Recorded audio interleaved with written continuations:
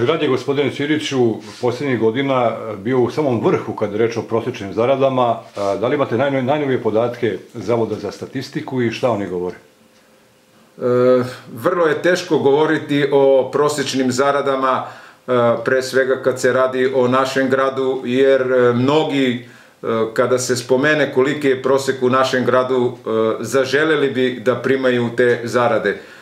Prema podacima, mi kažem, raspolažemo sa podacima koji objavljuje Republički zavod za statistiku, prosečna zarada u Republici Srbiji bez poreza i doprinosa je 55.380 dinara, a u Pirotu je 56.516 dinara, znači iznad smo proseka Republike Srbije za 2% opštine u okruženju Pirotskog okruga i dalje zaostaju za prosečnom zaradom Republike Srbije, Babušnica za 20%, Bela Palanka 24% i Dimitrovgrad za 23%.